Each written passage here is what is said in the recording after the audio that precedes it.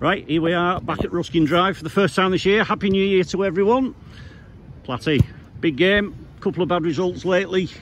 Um, players back today, so confidence? Um, I don't know about confident, but we're, we've got a few players back. Um, I've got confidence that these are good players and that we can play well. As we've seen, we can we can beat some good teams on our day. Um, what we're obviously striving for is that consistency. Um, bad game last week, um, and I'm not going to blame people coming in because there was it was bad performance all across the pitch.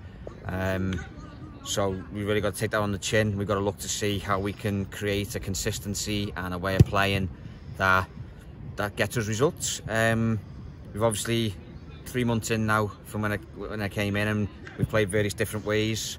Some more successful than others what works one week doesn't work the next week. So we're um, we're constantly striving to find that that right formula, that right connection. Um, so a couple of changes again today. Um, we've signed Jacob Mangan from Skelmersdale, so he comes into the side today, starts for the first time. Um, Moses is dropping from centre mid into centre back, um, and we're just trying a few different things. Um, young Wes Nelson's back. He was out injured with a bit of a septic knee. Um, so he's back, he's on the bench today, but hopefully he comes in. Um, and then big big mention for young Steve Brown. We had an injury um, just pre-match there. Um, Steve Brown stepped up from the reserves, and he's going to be he's uh, 16 years old and um, possibly making his first team debut today. So um, it's exciting things to come from him, hopefully. Excellent, Platty. Excellent. Good. to think what, what we've also what we always realised from day one is the uh, the team spirit's been superb. Whether we've been losing or winning, the lads all seem to be together, which is a good sign. Um, couple of away games coming up as well. Blackpool Tuesday, Bacup Saturday. Tough time of year, um, so let's just uh, let's just hope things go as it should, and uh, can only do what you can do. Yeah, we um, away games are tough. I was looking at the stats on the website, on the league website the other day, and we're something like 40 odd percent win rate at home and 9% away, which is shocking. And one of our wins actually came against Shelley, in a really good result in back in November, I think it was. So, um, yeah, a couple of well, two or three away games coming up, and we've we've really got to got to find that way of playing away away, away from the, the smooth 3G and um, and yeah, get a good result. So starts today. Everything starts today again, and we we work hard and we see what we can get. Excellent stuff. Appreciate your time again, David. Thanks very much. Cheers. Thanks.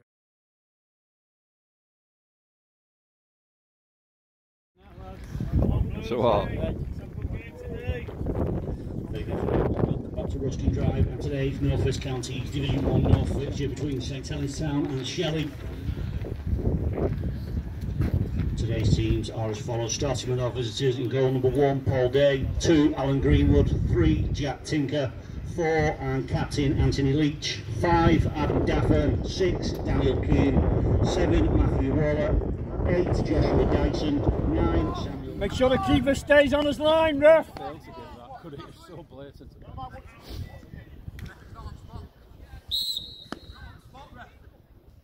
Yes! She's having sound goal score. Let's not lose the bloody thing first. That's the main thing.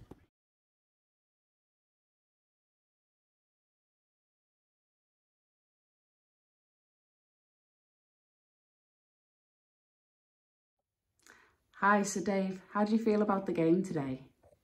Um, it was a tough one. Um, tough to take that late result going against us. Um, not a lot of class on show, I thought, from either team. Both teams can play better football than that, I'm pretty sure. Um, but both teams did try really hard, worked hard, um, put a lot of effort in. Um, to lose it so late was harsh. I did feel the goal was offside chatting to the bench, the players as we shook hands at the end.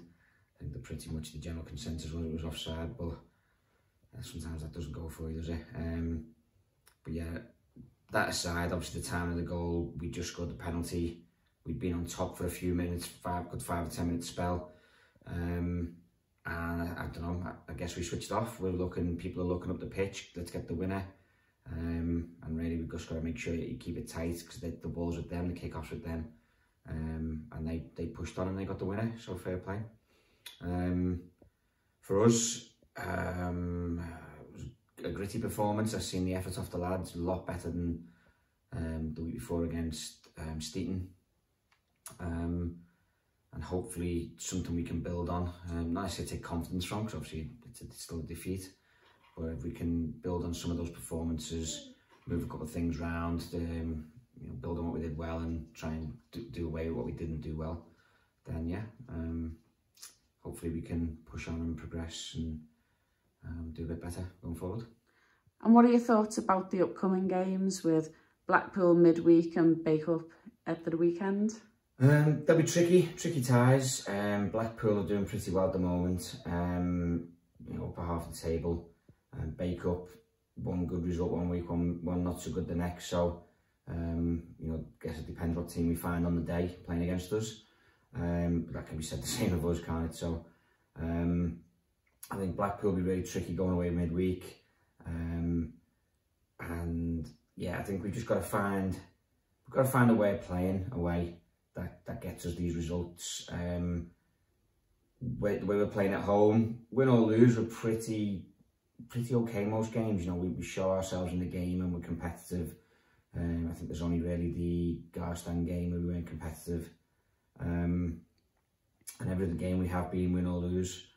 Um, but going away, it's a different story, and we need to we need to certainly take tighten that up and, and play a lot better.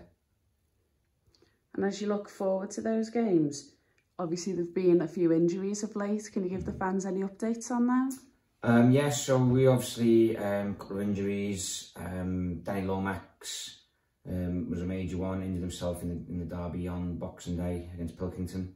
Um, he's eyeing a return at the end of the month, but we've got to see yet. He, he obviously needs to get back in training and see how it reacts to, to more vigorous exercise. Um, Andy Webster, he had like a knee dislocation. Um, it's coming along really well. He's come to training um, just like training, working on his own. Um, he, he come and warmed up today.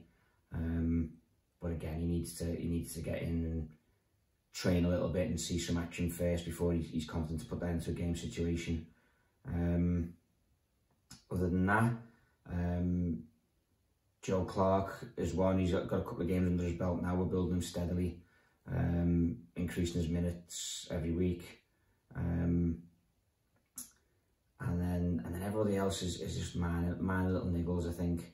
Um, Jordan, Jordan's a, a big one. Um, meniscus injury, um, had a scan, looks like he's going to get some injections. Um, hopefully that works out for him and we can have him back sooner rather than later. Um, obviously there's goal threat. And then obviously we're, um, looking to improve the squad in a couple of other ways. The first part of that was Jacob Mangan, um, young centre-back we brought back from Skelmersdale, played for us last year. Um, and there's a couple of other irons in the fire. Uh, um, will be familiar faces to everybody once they once they return. Obviously, can't can't really name any names just yet, but hopefully that all gets across the line and and it looks good. Um, important thing for us is really to have a good second half of the season, build some confidence in the squad, um, develop the younger players. We had young Steve Brown on the bench today. He'll get some game time in this season. Lewis Ferns has played for us. He's done well. Um, you know, Louis Peterson, Luke Diggle, um, players like this who have come through, who've, who've played for Sunday 11 under 21s, reserve team.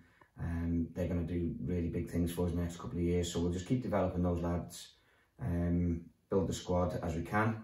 Um, and the aim for us is to be competitive come, come start of next season. But um, the way to do that is to win as many games as we can this season. Um, build the atmosphere in the squad, build the momentum, um, and make it a place that people want to come and play. So yeah, um, all in all, I'm I'm positive. Um, I know a couple of couple of tough weeks, but um, the overall picture of the club's looking pretty good. Um, a lot of people pulling in the right direction. So yeah, all good, all good from our end. Great. Thanks for your time, Dave. Good luck for next week. No problem. Thank you.